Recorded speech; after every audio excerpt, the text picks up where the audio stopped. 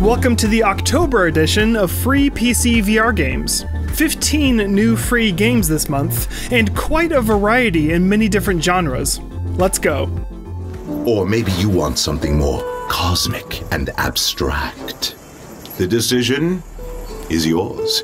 Place your choice in the fire.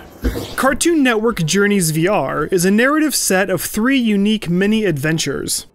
In one, you help a bee colony. Don't even think about entering the construction area. It's dangerous. In the second one, you're auditioning to become a jester in the king's court. This one is my personal favorite. Is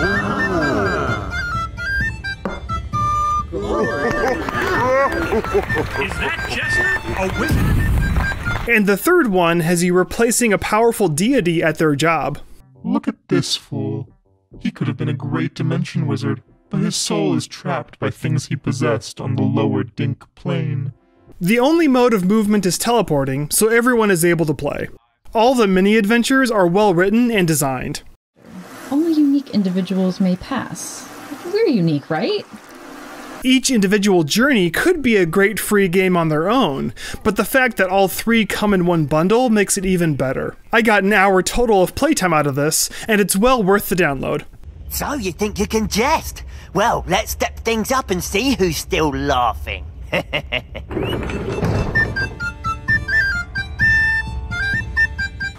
It's time to turn those mosquito bites you call biceps into some snow capped peaks! Look up there, right beyond the horizon. Look familiar? That's you! Sometimes a game will come along that's difficult to categorize or even difficult to describe, and Beach Body Bros is one of those experiences where you just have to try it out yourself. It's very short, it lasts about 4 minutes, but I promise you, it's unlike anything you've ever played before. Looking good, bro. I like the way you pump.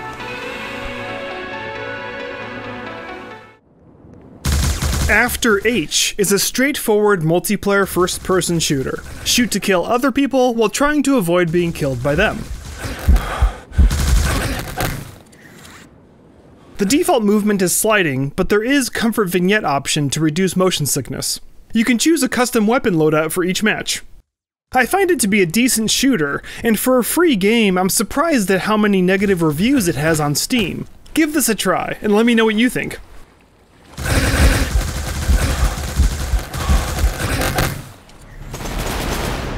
Chambered was once a paid game, but has recently become free. You're stuck inside a chamber where you need to complete a bunch of combat training missions against bots.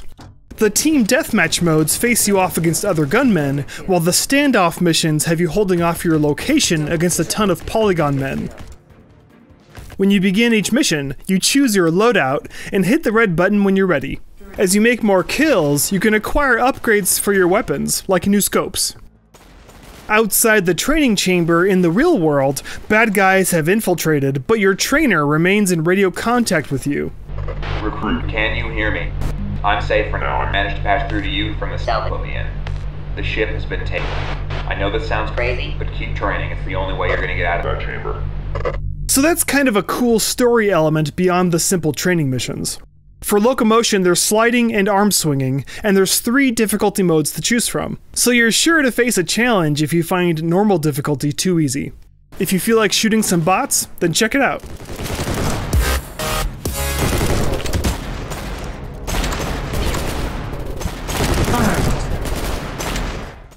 In Deus Ex Machina, you are a robot trying to infiltrate a top secret facility. To do that, you'll need to solve puzzles of all kinds to unlock doors and gain entry to where you want to go. There's only sliding movement, but there's a visual comfort vignette whenever you move in case you get motion sick. It did seem a little buggy at times, like here when my robot arm didn't connect with the dials, and the performance stuttered sometimes, but if you're in the mood for some random puzzles, then give it a spin.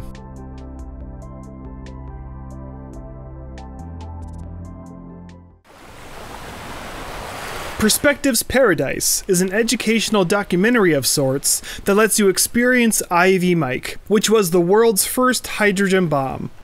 To feel like you're actually near a nuclear blast with everything burning all around you is pretty disturbing, but it's also a good education on the reality of it. After you experience it firsthand, you get to learn some facts about the bomb test site and also learn about how it's affected the lives of people living on those islands. And there were times where all the equipment, we dumped it in the lagoon because we couldn't take it back stateside. The entire experience is sobering, but also important to know.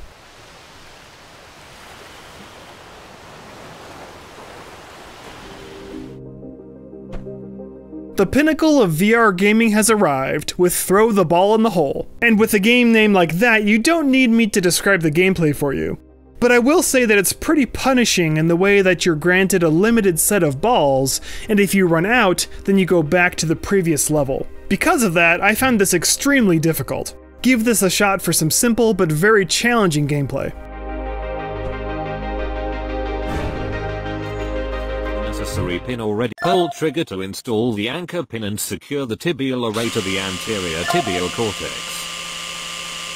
Wraith VR Total Knee Replacement Surgery Simulation lets you perform knee surgery on somebody. You're guided step by step on how to give this poor soul a better knee. For a guided surgery experience, it's pretty good. Pin and secure the tibial array to the anterior tibia. Now select the femoral target array already mounted. Place along the medial aspect of the distal feet. Two anchor pins are required to anchor the fixation base. Grab the pin drive. Turn Me On is an obstacle course hoverbike racing game set within a neon Tron like visual style. There's only four levels in total. I found the controls really touchy, and honestly, I didn't find it all that enjoyable. But it's possible that somebody else might enjoy it.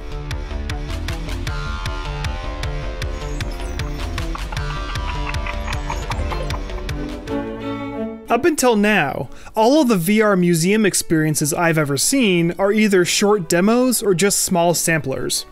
But now, with Versailles VR The Palace is Yours, you get to explore the entirety of the Palace of Versailles. There's a ton of fascinating art and architecture to see in here. It's all reconstructed from photogrammetry, so the artwork feels authentic. The default quality setting is low, so be sure to turn that up. In every room, there are multiple items that you can highlight to get the details on. Even the artwork on the ceiling can be highlighted. Within this view, you get a detailed description on your left hand about the piece. You can turn on the audio guide, which will narrate what each room is for, but they don't narrate each individual piece. The bedchamber is the most important room in the Queen's state apartments, and was where the sovereign spent most of her time. There's a night mode that will change the ambience and make the fireplaces light up. And you can enable 3D chandeliers for a little more immersion. I'm so happy to finally see a full and complete museum in VR. I highly recommend it. The coronation chamber owes its name to the emblematic monumental painting of the coronation of Napoleon. Project Cars 2 demo. This demo has actually been out for quite a while, but it's just recently been on my radar.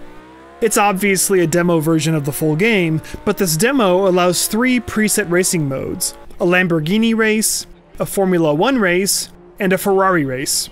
Even though the races themselves aren't customizable, in the demo there are plenty of other options you can change, like toggling off the HUD display and much more. And there are plenty of different camera angles to choose from as well. Everything looks and feels great. It's a well made, polished racing game. For a limited but high quality racing demo, it's a good choice.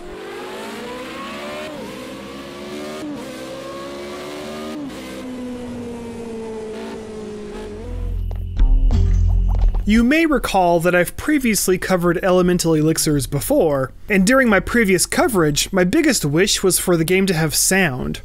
And thankfully, there's been a sound update to the game with both music and sound effects. So this game is now a solid recommendation for me. It's a fun and charming potion merchant game with great interactions. It's totally worth a free download.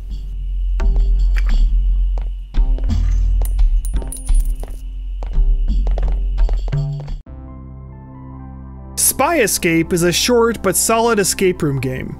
Just be sure to avoid the guards seeing you when you hear them walking down the hallway.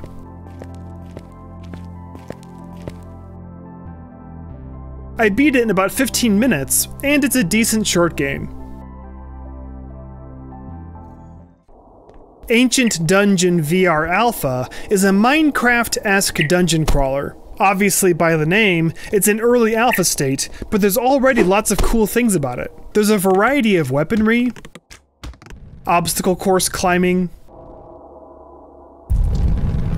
merchants,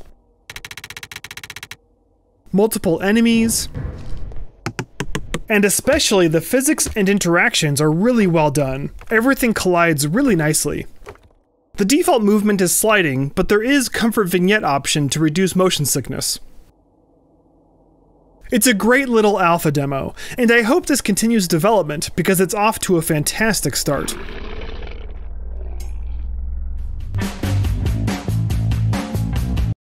In Revenge, evil crash test dummies want to kill you, as you would expect. But thankfully, you're given about 10 seconds per level to change the scenario so they end up killing each other.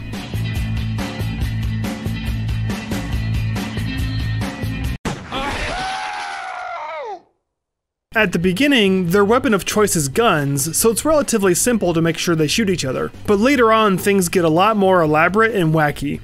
This game is a real hoot, it's a must play.